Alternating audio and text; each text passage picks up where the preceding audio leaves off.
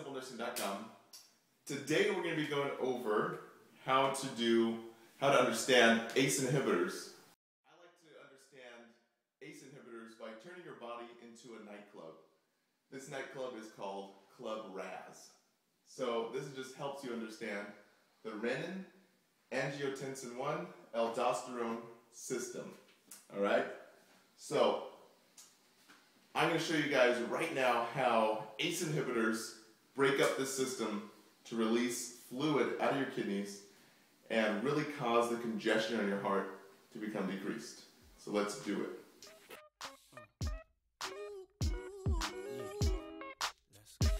Just that bounce right here.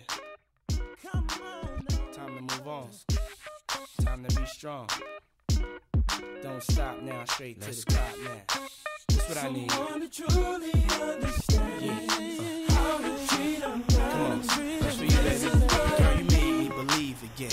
If you happy, then be with him. Go ahead, mommy, breathe again. Go ahead, mommy, breathe again. Don't stop now, straight to the top now. Go ahead, mommy, make it hot now. I need me a love that's gonna make my heart stop now. And what I need is simple. Five foot five with dimples, potential wife credentials. Know about the life I'm into, life I've been through, and how I had a trifling mental. So ride with me, G4 fly with me. Times get hard, cry with me, die with me. White Beach Saints, lie with me. My advice is forget the limelight. Let's make love while we listen to Frank White. So tight, now I understand life. Yeah, take that. Come on. Is a pretty woman next to me? A pretty woman, yeah. To share the dreams that I've been So, let me ask you a question. If we're turning your body into basically a nightclub, what does every nightclub have here? Every nightclub has doors, right? And really, the doors to your body are your kidneys. Because there's really no other way that your body can get fluid out other than your kidneys, correct? Let me take these out. right? I mean, you can sweat it out, you can vomit, but really the best way for your body to expel fluid is through your kidneys. So, your kidneys are pretty much the door to this club, this nightclub, Club RAAS.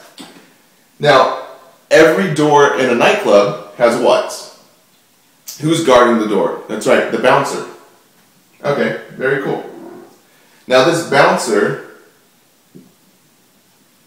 we call him Tyrone, okay? And in this demonstration, we call him Eldas Tyrone, alright? Eldas, oops, Tyrone. And uh, Tyrone, this is an enzyme that your kidneys create.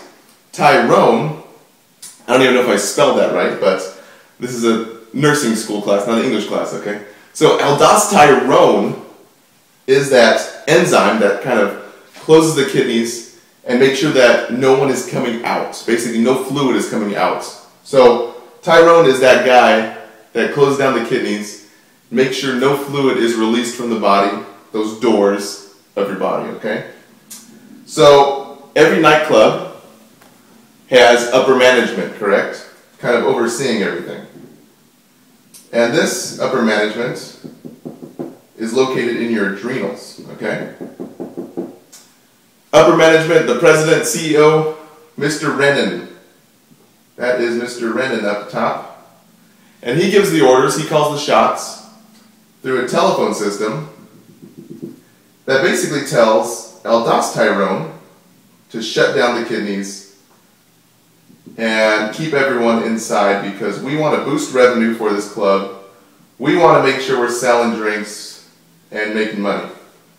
So, Mr. Renin talks to um, angiotensin, basically the assistant manager, and then angiotensin 2, and then it trickles down to aldosterone, okay? And aldosterone does what again? He's the bouncer that shuts down, finally shuts down the kidneys. Tyrone.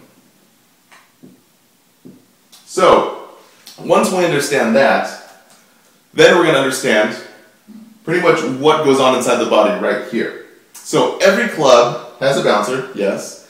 Has upper management, correct. Every club lets who in first? Who, who, every nightclub usually lets in um, a certain demographic in for free. And who would that be? Guys or girls? That's correct. Girls, okay? So, I'll use my black pen here. So we can call the girls sodium. These are called the Na girls, basically. Because who do girls attract? That's right. Girls attract guys in the club. Because management knows that guys are going to be the ones buying the drinks, bringing the revenue in. So if you have enough girls in the party, you're going to have more guys attracted. Same thing with the body. If you have more sodium being held onto by the kidneys, what does sodium attract? Basically, let me put it to you like this way. If you're going to go to a wedding tomorrow, and ladies, if you're going to wear a tiny dress, would you eat Chinese food that's really high in salt the night before? And everyone would say, of course not, because you're going to be really bloated, you're not going to fit your dress correctly. Same thing with Na, sodium. Sodium attracts the water. Basically, the girls attracting the guys.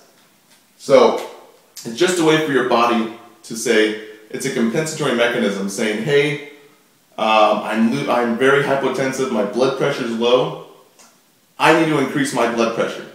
Basically, I need to increase um, the pressure in my body.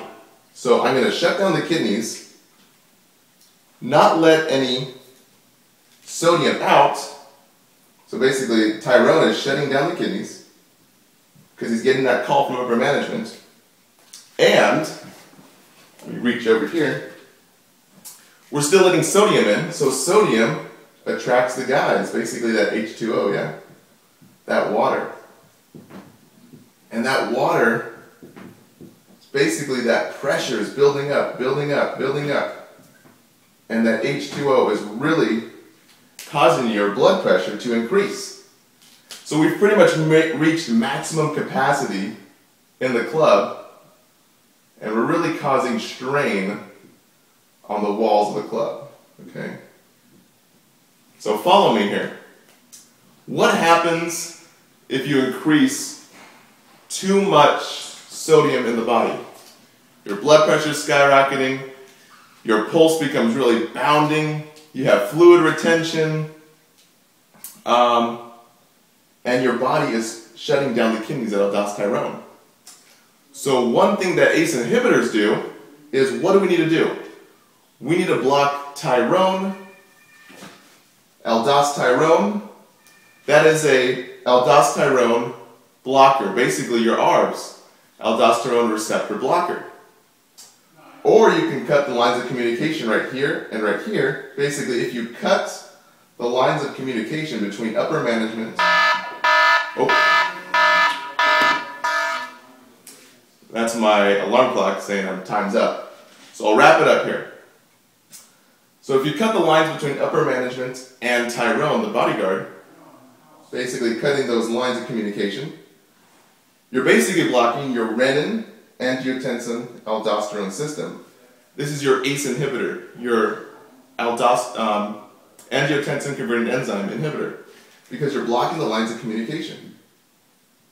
If you have a, um, a sartan or an angiotensin converting enzyme, basically if you're blocking um, an angiotensin for a sartan, you're blocking at a certain level. If you're only blocking specifically aldosterone, then that becomes an ARB, your aldosterone converting enzyme, or basically the aldosterone um, uh, receptor. You're blocking that receptor. So hopefully that makes a little more sense with ACE inhibitors, because once you block the lines of communication, and Tyrone is now out of the picture, you have allowed the ladies, the sodium, to leave first so that's why, as the uh, sodium is leaving first, who follows the sodium out of the kidneys? That's right, the water, okay? So the water follows. And what comes after that? decreased blood pressure, decreased bounding pulses, uh, decreased JVD, decreased edema in the body.